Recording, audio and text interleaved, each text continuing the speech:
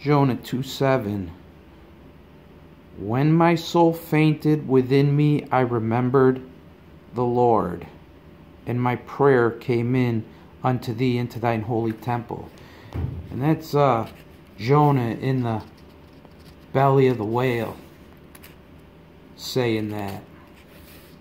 And he's coming to himself in that and realizing his sin, and he cries out unto God. And those were some of my readings today. And then I was reading over here in uh, Micah chapter 7. And uh, I just thought about anybody that might be uh, trodden down today. And you can return back to the Lord because the enemy would rejoice. You know, Micah says here in our uh, Micah 7 8, Rejoice not against me, O mine enemy, when I fall. I shall arise. When I sit in darkness, the Lord shall be a light unto me. So, if you're trodden down today, don't let the enemy rejoice against you, because you can be lifted up.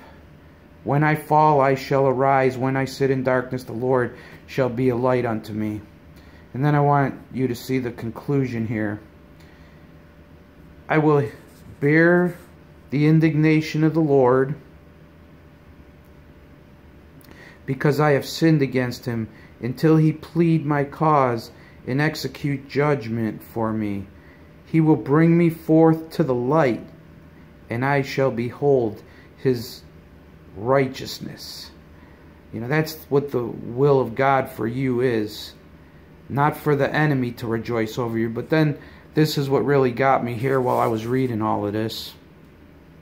In verse 10 of Micah 7 Then she that is mine enemy shall see it, and shame shall cover her, which said unto me, Where is the Lord thy God? Mine eyes shall behold her. Now shall she be trodden down as the mire of the streets.